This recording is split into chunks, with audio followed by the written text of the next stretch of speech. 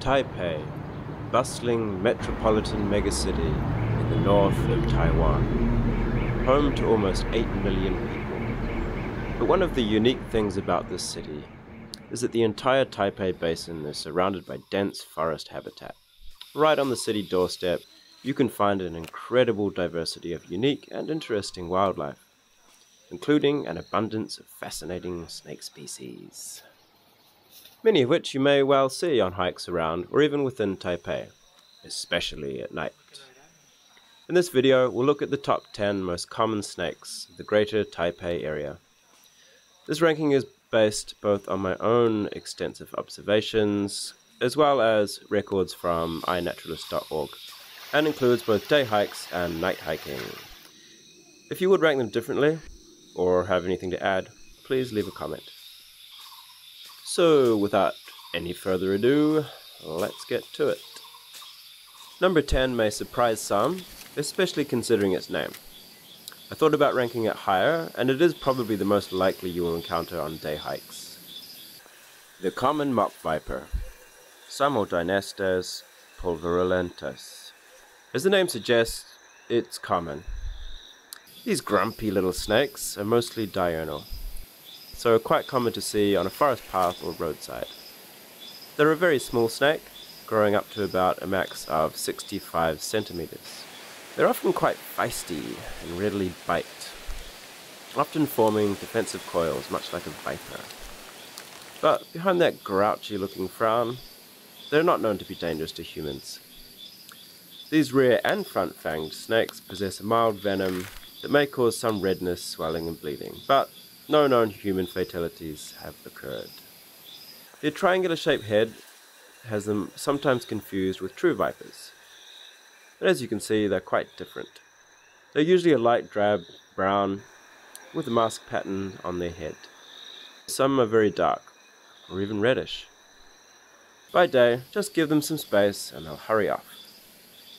At night, they're typically seen sleeping in shrubs and bushes, they usually feed on skinks and other snakes, but they'll also eat frogs.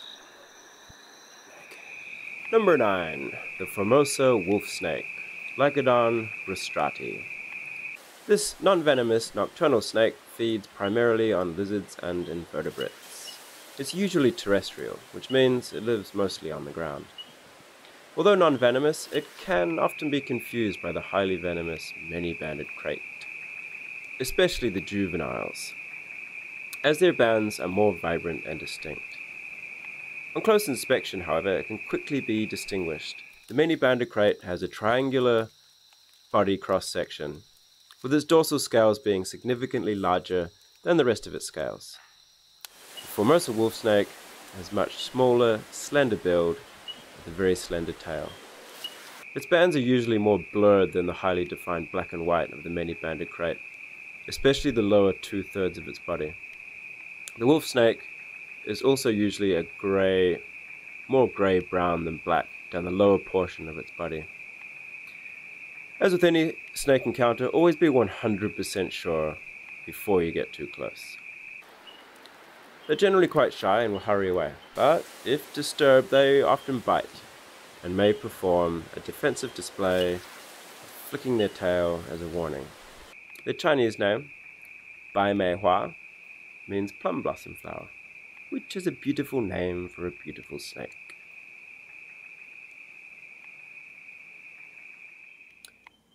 Uh, number 8. The Many-Banded Krait, Bungarus multicinctus.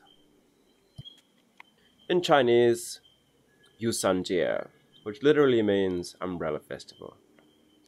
Why it's called Umbrella Festival is unclear. Uh, if you have any idea, or perhaps you know, do leave a comment. Although mild mannered, this is considered the most venomous snake outside of Australia. Although extremely venomous, their passive, shy disposition means they're not very dangerous if left alone. That being said, they are still very dangerous if picked up or handled. If you leave them alone, they will either freeze or usually just quickly and quietly move away to safety.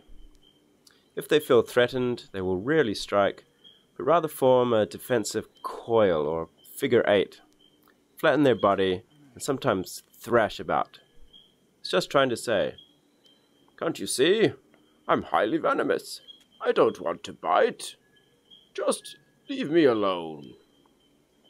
If you're careless and get bitten, you may not even notice. The site of the bite may itch a little, but not show signs of swelling or bleeding.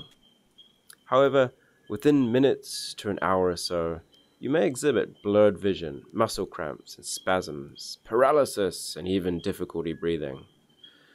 Without antivenom, there is an 85% mortality rate. Just leave them alone, and you'll be totally fine. They have a varied diet of mostly frogs, lizards, fish, small rodents, and often other snakes. Not humans. Number 7. The adorable Atayal slug snake, Pareas atayal. These non-venomous nocturnal semi-arboreal snakes prefer humid mountainous regions. They are still fairly commonly found in the forested parks and walkways around the edges of the city. As the name suggests, they feed mostly on slugs and snails. They may be found out on the hunt after damp weather, or sitting in ferns and small shrubs. Interestingly, they have a special shaped jaw and teeth that allow them to almost corkscrew a snail from its shell. These are extremely docile and slow moving snakes, and will almost never bite. They sometimes curl up into a ball when threatened. However, they usually just chill. The Chinese name Dan literally means blunt head snake, referring, of course, to that cute little face they have. And they really are the cutest snake here, and quite small, reaching a maximum of only about 70 centimeters. They can range in color from a dark copper brown to a much lighter gold brown. Number 6. The elegant square-head cat snake, Boiga kraepelini. These long, slender snakes can reach lengths of about 160 centimeters. They can be quite irritable and quick to bite if disturbed. However, they're rear-fanged and only mildly venomous. There have been no known human deaths, though allergies may occur. The Chinese name, Da Tou means big head snake, which is quite descriptive given their comparatively large head compared to a distinctive slender neck and body. In English, cat snake refers to their cat eyes. These snakes come in various color morphs, usually a lighter yellowish brown. They can also come in copper hues, as well as some being grey, with dark chocolate brown bands. The grey morphs will often have distinct yellow fringes on their bands, making them somewhat resemble a habu. However, they can easily be distinguished by their long, slender bodies squarish rather than triangular head, smooth scales, and a lack of pits. These mostly nocturnal snakes are excellent climbers and will usually be seen up in trees, especially at night. However, they will come down to crossroads and paths. Now for the top five. These snakes you will almost always see out on a summer night walk. At number 5, the often feared Taiwan Habu, Protobothrops mucrosquamatus. These nocturnal, highly venomous pit vipers are ambush predators, so will usually be found on the sides of paths, fallen branches, or on the edge of water containers, where they lie and wait for passing prey. Their prey consists mostly of small animals such as frogs, lizards, and small rodents, etc. The Chinese name, Guikuhua, refers to their tortoiseshell-like pattern, and very easy to identify by the classic viper triangular-shaped head and distinctly narrow neck, as well, of course, as their Guikuhua pattern. These snakes can pose some danger, as they are often hard to see when walking on forest trails or around agricultural areas. If bitten, try to remain calm and get to the nearest hospital or clinic as fast as possible. Habu antivenom is very abundant in Taiwan, so if treated promptly, there is very little chance of death or major health issues. These are a medium sized snake reaching up to around 150 centimeters. Number 4.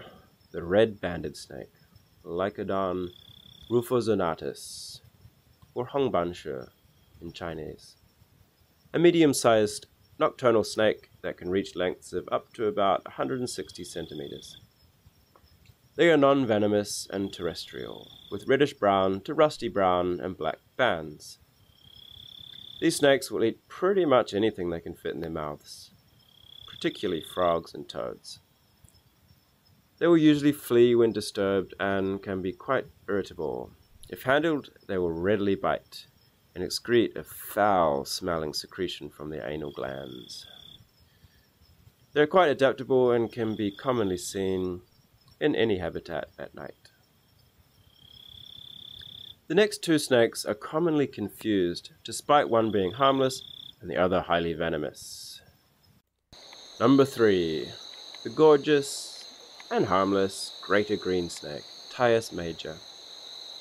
In Chinese it's called Qingshi, which simply means green snake.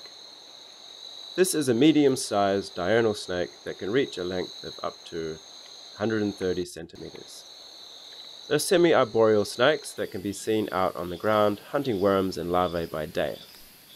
At night, they're very easy to spot sleeping up in the branches of trees and ferns. They are very mild-mannered and will almost never bite. They truly are a stunningly beautiful snake with vibrant glossy green scales. Unfortunately, they are often confused with the other common green snake, the green tree viper. However, again, they're easily distinguished by their smooth, glossy scales compared to the green tree viper's matte green. The greater green has a rounded face with no defined neck between the head and body. Viper, on the other hand, has a distinctively triangular shaped head with a narrow, well defined neck.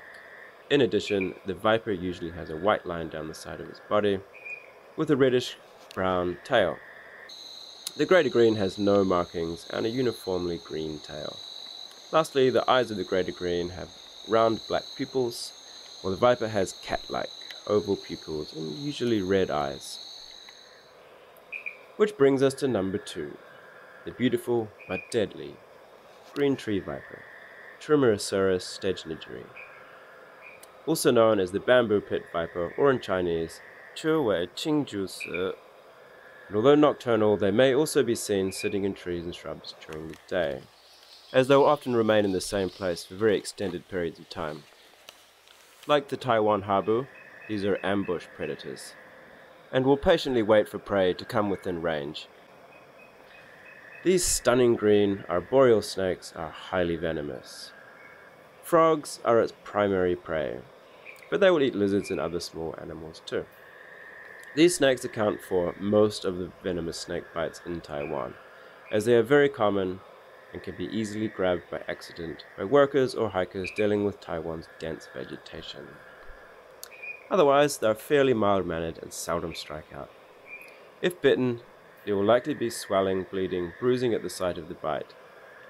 Like the habu, the green tree viper antivenom is in abundant supply nationwide so bites are rarely fatal.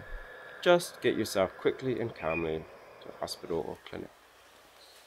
These are generally small snakes, reaching up to about 90 centimeters. Those of you who know Taiwan snakes will be wondering at this point, what could possibly be number one? Once you see, you will not be at all surprised. What's that hissing? Number one, the pipe snake. Serpens pipio, also sometimes known as the hose snake or hula hoop snake. These snakes can commonly be seen all across Taiwan, both by day or night. Don't worry, they are non venomous and never bite.